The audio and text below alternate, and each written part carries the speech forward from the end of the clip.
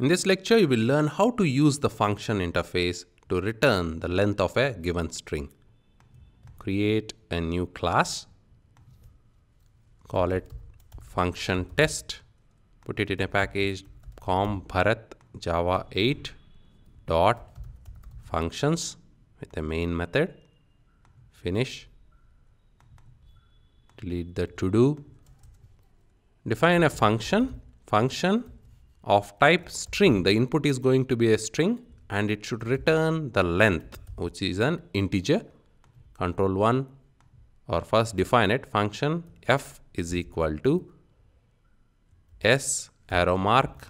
We can use lambda expressions to define a function s dot length. Hit control 1 to import the function from java and everything will go away once you have that import. So we have defined a function and a lambda expression on the right side which takes the given string and it returns the length of the string. Now to invoke this sysout f dot apply. Apply is the method. In this case we have to pass it a string Bharath. One more sysout f dot apply. You are welcome to use your name as well. John. Right click run as Java application and it returns the length which is 7 and 4